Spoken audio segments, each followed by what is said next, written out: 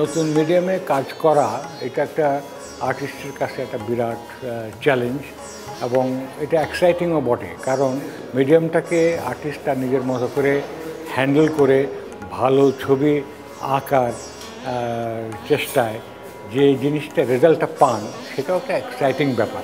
এটা একটা আবিষ্কারের মতোই বটে। তো আমরা এখানে আজকে যে ডাই কালারগুলো পেয়েছি এর মধ্যে কালারের একটা লিমিটেশনস আছে। কিন্তু এই লিমিটেশনসের মধ্যেও একটা বৈচিত্র্য আমরা আনার চেষ্টা করেছি আর কি। তো আমার মনে হয় যে যে কোনো মিডিয়ামই হোক না কেন আর্টিস্ট সেটা তার যে ক্যাপাসিটি আছে, সেটা দিয়ে সেই মিডিয়ামটাকে সে নিজে ট্যাকেল করে নিতে পারে। এবং এর মধ্যে থেকে একটা নতুন ধরনের ক্রাফটম্যানশিপও বেরিয়ে আসে, নতুন ধরনের টেকনিক বেরিয়ে আসে, নতুন ধরনের ছবিও তৈরি হয়। বেঙ্গলের আজকে যে ওয়ার্কশপের আয়োজনটা, এটা একটু অন্যরকম, অন্য ধরনের। কেননা এই ভেজিটেবল ডাই যে রঙ আছে, সেইটা দিয়ে কাজ করা, কাগজে, ছবি আঁকা। এইটা বেশ আমার কাছে বেশ ভালোই লাগল, অন্যরকম অন্যরকম মনে হলো। এই জন্যে যে কোনো দিন এই টেক্সটাইলের এই রঙটা দিয়ে আমরা ছবিতে কাজ করি না। জল রঙের একটা ভাব রয়েছে এর মধ্যে ট্রান্সপারেন্ট তো সেই হিসেবে কাজটা করলাম, সবাই মিলে বেশ আনন্দেই করলাম আমরা, ভালো লাগল, সবার কাছেই ভালো লাগছে। আমার মনে হয় অপেক্ষা করতে হবে আরও দু তিন বছর যে এই যে ছবিগুলো আঁকলাম, এর রেজাল্ট এর ফলাফলটা কি আসে। আমরা তো শাড়ির রং তো বা জামা কাপড়ে যেগুলো ব্যবহার করি, এটা কি পরে জ্বলে যাবে কি না এটা আমরা এখনও বলতে পারি না। কিন্তু কাজ কিন্তু সুন্দর হয়েছে সবার।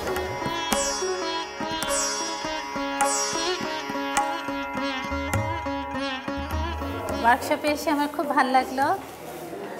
বিশেষত এটা মানে মেন কারণ যে একটা হলো যে পহেলা বৈশাখের একটা আনন্দ। এই উপলক্ষে আমরা প্রত্যেক বছরই বেঙ্গল ফাউন্ডেশন কর্তৃক মানে আয়োজিত আর্ট ক্যাম্পে অংশগ্রহণ করি। কালকে আমাদের মানে পয়লা বৈশাখ আছে রাত্রি বারোটার পর এবং সেই সঙ্গে আমাদের নিজস্ব দেশীয় রং দিয়ে ছবি আঁকা। তো সেই কারণে এটা খুবই ভালো হয়েছে এবং আর্টিস্টরা সকলেই চেষ্টা করেছেন যদি এগুলোকে ডাই করা হয় কাপড়ে, কাগজে কখনো আঁকা হয় না। কিন্তু কাগজে এটাকে ব্যবহার করার সবাই নিজের নিজের এক একটা পদ্ধতি দিয়ে এটাকে চেষ্টা করেছেন। এবং আমিও আমার মতো একটুখানি, আমি যেহেতু অনেক পানি দিয়ে ছবি আঁকি, আর আমার এই সময় একটা থিম নিয়ে আমি কাজ করছি। তো আমি সেই সিরিজেরই কাজ আমি এই ওয়ার্কশপে আমি করেছি। বহু বছর আগে আমাদের যে মিনিয়েচার আর্ট হতো, সেটাতেও কিন্তু গাছের মানে ছাল স্টোন ডাস্ট মাটি এগুলো দিয়ে ছবি আঁকা হতো। সেই কারণে যে এখন আমরা আবার যে এই যে অরণ্যর এটা একটা অবদান যে আজকে তারা দীর্ঘ অনেক বছর ধরে কালারগুলি ওনারা করছেন এবং আমি অনেক বছর আগেও এই কালার দিয়ে ছবি এঁকেছিলাম, দেখেছিলাম যে এটাকে কতটা ছবির জন্য ব্যবহার করা যায়। তো আবার আমি যে সেটা একটা সুযোগ পেলাম এটাকে নিয়ে কাজ করার। সেজন্য বেঙ্গল ফাউন্ডেশন এবং অরণ্য দুজনকেই ধন্যবাদ। অন্য অন্যবার যে আমরা নর্মালি যে কাজগুলো করি নর্মালি যে ছবি আঁকি, সে নর্মালি অন্য অন্য পিগমেন্ট দিয়ে কাজ করি, যেমন oil water colour acrylic but এটা হলো আমাদের কাছে একদম নতুন মিডিয়া আমরা কখনো এই ধরনের কাজ দিয়ে মানে এই প্রাকৃতিক রং দিয়ে আমরা কাজ করিনি। তবে আমার কাছে মনে হয় এটা খুব ভালো একটা উদ্যোগ। এটা ডেফিনেটলি আমাদের যে এখন যে গ্রিন হাউস এফেক্ট শুরু হয়েছে, আমাদের মনে হয় আমাদেরকে একটু অ্যালার্ট করে দিচ্ছে আমাদের সবাইকে এবং আমাদের আর্টিস্টদেরকেও যে আমরা কেন প্রাকৃতিক রং দিয়ে কাজ করি না কেন। যে ভেজিটেবল রংটা, এটার মূল হলো তৈরি করেছে রুবি রবিগজ নবীর তাদের যে সংস্থা। এটার মাধ্যমে আমরা প্রথম যখন আর্ট ওয়ার্কশপটা করি, এই এই রং দিয়ে, সেটা চারকোল ইনস্টিটিউটে করা হয়েছিল।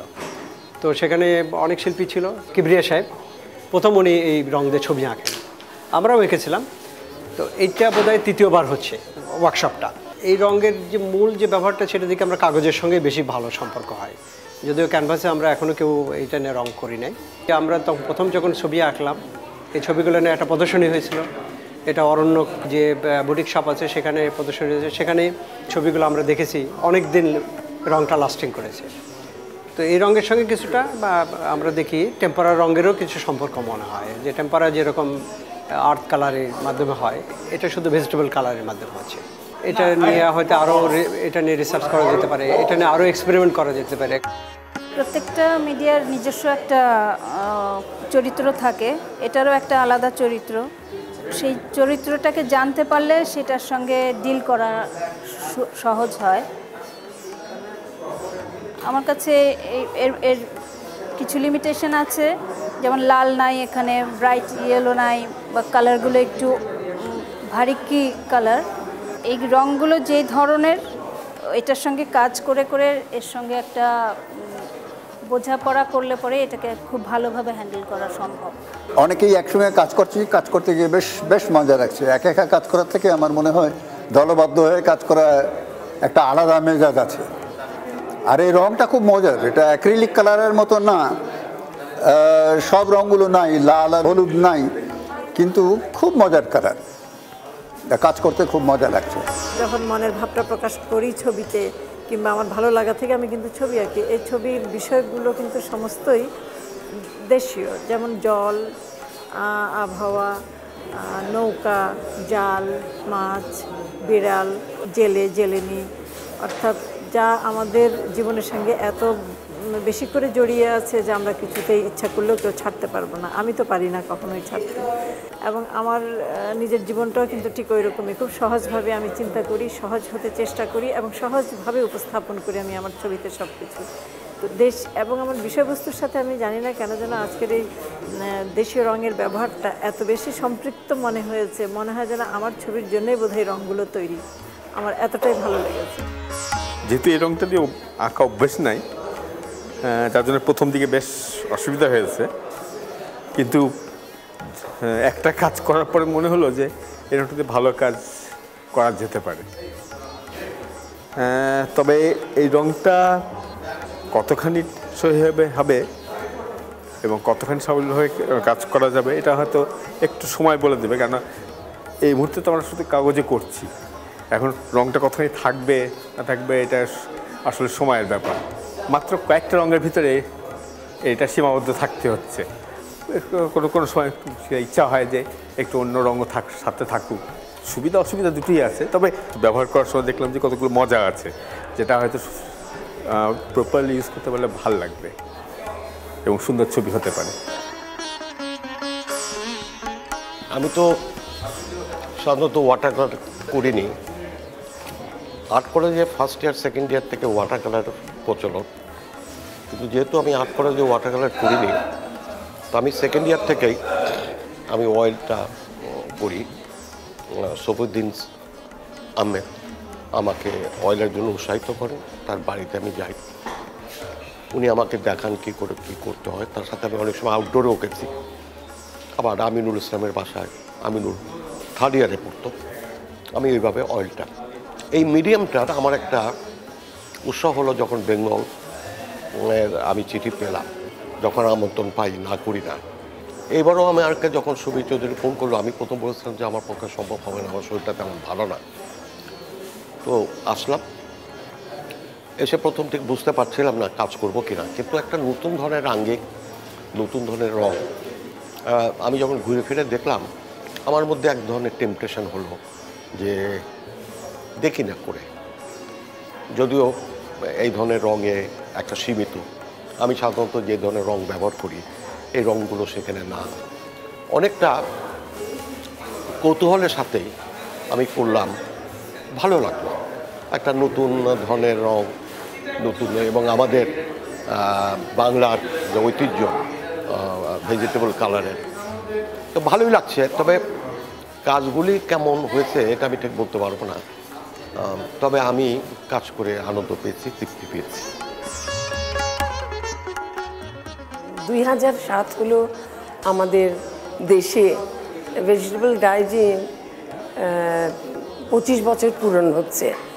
এই উপলক্ষে আমরা একটা উদ্যোগ নিয়েছি, যেটা কারুশিল্প পরিষদে নিয়েছেন এই উদ্যোগটা এবং এটাতে অরণ্য জড়িত বিকজ আমরাই রিভাইভ করেছিলাম ভেজিটেবল আমি যেটা জন্যে বেঙ্গল ফাউন্ডেশনে বিশেষভাবে কৃতজ্ঞ যে এত বড় একটা ওয়ার্কশপ অ্যারেঞ্জ করেছেন ওরা।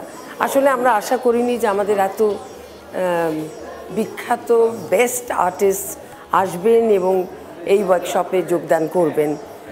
ওনাদের মতামত আমরা নিয়েছি। কিছু ধরেন লাল রং কিংবা কয়েকটা রং এখানে নেই।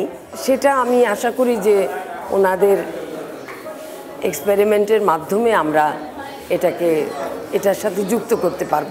এটার আরও প্রচার দরকার, যেটা আমাদের মনে হয় যে প্রাকৃতিক রঙের আমরা তিরিশটা রং আছে আমাদের, আর এটা বেশিরভাগই আমরা টেক্সটাইলে হ্যান্ডলুমে ব্যবহার করি। এর আগে ছোট আকারে ফাইন আর্টস ইনস্টিটিউটের সাথে দুইবার হয়েছে, কিন্তু এত ব্যাপকভাবে হয়নি।